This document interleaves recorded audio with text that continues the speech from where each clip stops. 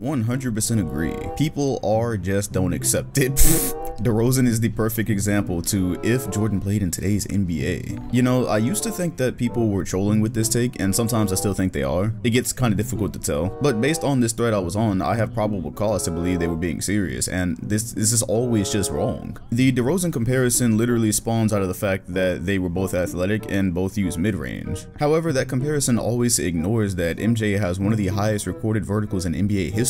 It's listed at around 46, that is more than most people's favorite jumper today including DeMar DeRozan. MJ was a better defender than DeRozan would ever hope to be, and his offensive bag was just way deeper. Like, the footage exists, fam. DeRozan averaged 27 points per game one time in his entire career. If we were trying to be somewhat on base with the comparison today, most people say Kawhi Leonard because Kawhi's mid-range game is very MJ-like. It mirrors a lot of the stuff we saw from both MJ and Kobe, and he's an elite defender. But even then, MJ definitely has Kawhi in the athleticism. He's got Kawhi on quite a bit, honestly, but I could never understand how people could watch Kawhi Leonard dominate in today's NBA and don't think that MJ could play. And if the comparison that's just supposed to get us somewhere in the ballpark is Kawhi Leonard, a top 5 player in today's NBA, one of the best players in the NBA, then I think that about wraps this whole thing up. I also never understood how Michael Jordan came back with the Washington Wizards. It was a good three years after he was done with the Bulls. So he comes back at around like what, age 37, age 38, and still puts up 22 a game. And he goes on to do this against a lot of guys that would go on to be our favorite players throughout the 2000s and even a little bit through the early early 2010s. Guys that LeBron James would go to play against, MJ was literally playing against that last season and he showed that he could play. And that wasn't even prime Jordan. Anyways, after that little tirade, I'm going to assume that the DeRozan thing is to be funny, but just in case. Nigga, what? Like I said, it's a team game and you're saying Chris Paul's way didn't work where Steph's did. Wrong because it's two different system and teams. You're talking about switch his style to fit teammates. CP3 literally makes his teammates better while Steph doesn't. Oh my god, here, we're back here again. A year later, here we are. This tweet is brought to you by he doesn't average a lot of assists Twitter. Also shout out to the other sponsor, I don't understand off-ball movement Twitter. How do people fail to grasp that you can make your teammates better without averaging 10 assists or throwing flashy passes? I don't know bro, we don't need to go through this whole thing again, we really don't. This whole thing is making my brain do a backflip to tell Westbrook to stop caring about stats and actually win without KD for once. I mean, he did have one of the greatest individual seasons ever and one MVP with a team that everyone thought was going to the lottery, but continue. Has KD won on his own? Nope, nobody really has. Also continue. No, so relax. If Westbrook would have went to that same Golden State team, he could have easily won rings too.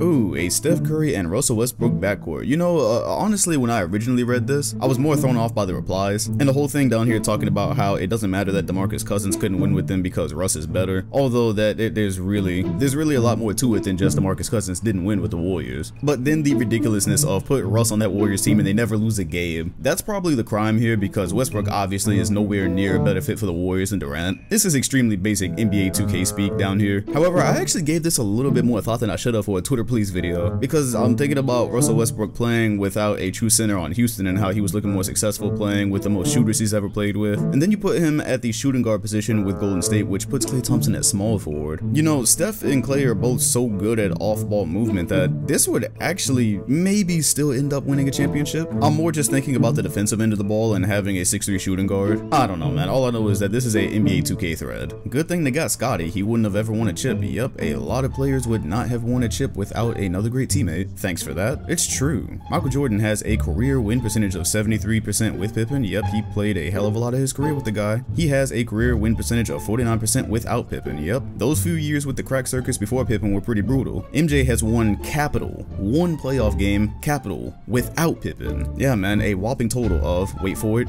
three playoff series, all against elite teams without any adequate help. Yeah, I guess that would have been difficult for a lot of players. Parentheses, Pippen has won 19 without MJ. Yeah, Pippen did go on to play quite a bit of basketball without him. You know, after Jordan retired, goes on to play with Charles Barkley, Hakeem Olajuwon, a great Portland team. It sure seems like Pippen had a lot more opportunity than MJ to play in the playoffs after they were apart. I mean, it would make sense. Pippen led MJ in every major statistic bar in all of their rings. Wow, it sounds like they played the role they were supposed to play, doesn't it? Good thing one was able to pick up all the dirty work while the other was able to be an elite scorer. Sounds like the perfect ingredients for a great team and a dynasty. A lot of good basketball. I mean, it's not like MJ had an incredible streak as a point guard or anything one time and showed that he absolutely could do that if asked. That uh, oh wait, he did that? Oh, well then uh, MJ having Pippen would be like LBJ having KD or Kawhi. Okay. If we wanted to be in the ballpark, Because Pippen was a great defender and could also provide his own offense, maybe we would say it'd be like LBJ having Kawhi. MJ having Pippen is not, however, like LeBron James having Kevin Durant. What? Most other stars in history have never had a player that could score as easily or bend a defense as well as Kevin Durant, including Michael.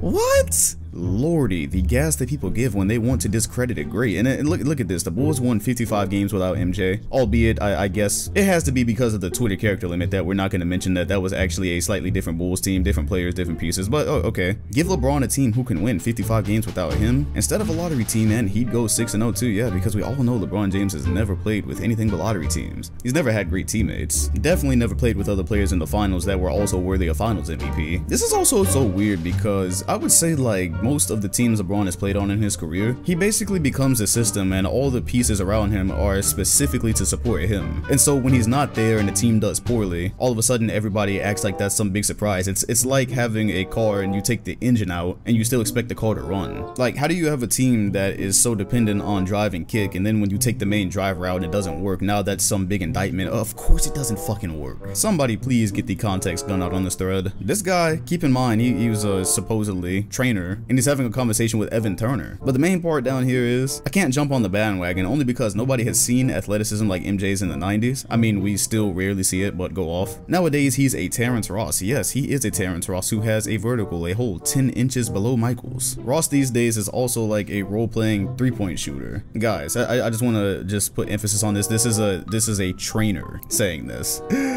Next, MJ is an all-time great, but he got Ben Simmons treatment for 10 straight seasons, which is perfectly fine because he was so good at other things, but it's not enough to put you above Harden. Hey, do y'all remember when we were watching The Last Dance on Sunday and they were talking about the Sun series where they were guarding MJ in the paint and he absolutely didn't just destroy them from mid-range, it, it, was all drives? Cause yeah, according to this theory of 10 straight seasons, that would mean in the finals when he was averaging 40, guys were hanging off of him because he couldn't actually shoot and he had no offensive go-to moves. How how do you end up being this wrong and misinformed with footage today? I, I just never get it. Like we're gonna ignore the part about James Harden that, whatever, bro. You can go look at footage from the 90s. It exists. It is clear. It is crisp. Even though they got our boy Dawkins, there's still footage out there. You can go look at it. You can inform yourself before putting these type of things on a public forum. It's possible. On the subject of MJ's competition, Prime Kemp, more like lazy Kemp, Payton was a damn rookie. Ewing had no knees in the 90s. Shaq and Penny actually beat the Bulls, but then MJ told management to get him more help, Dennis Rodman. Magic wasn't in his prime anymore, and that definitely wasn't the Showtime Lakers. Okay, uh, yeah, Shawn Kemp when they played the Bulls in the finals. That definitely was not the lazy Kemp from the Orlando Magic and the Cleveland Cavaliers. Easily checkable. Payton was absolutely not a rookie when they played in the finals. Very easily checkable.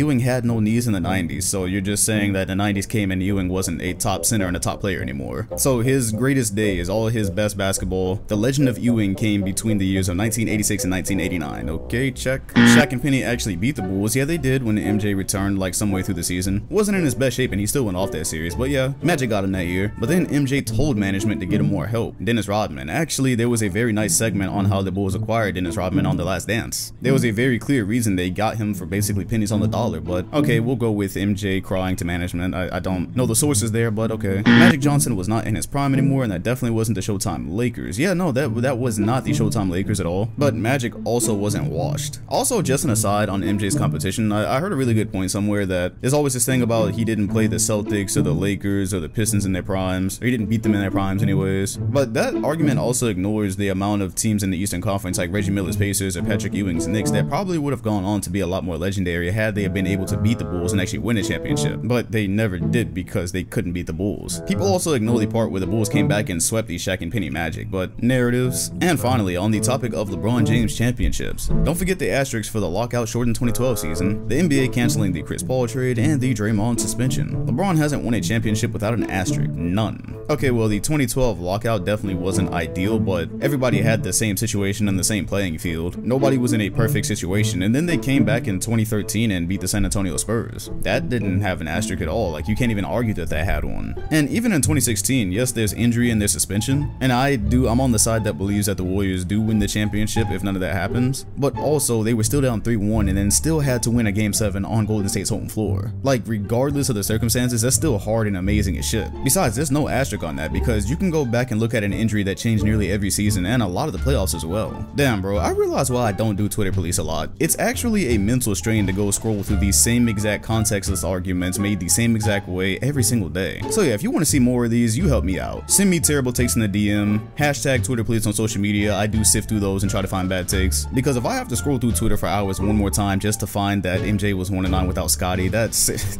I'm out bro. Hit like... Hit like, comment, subscribe if you enjoyed the video. I'll see y'all on the next one.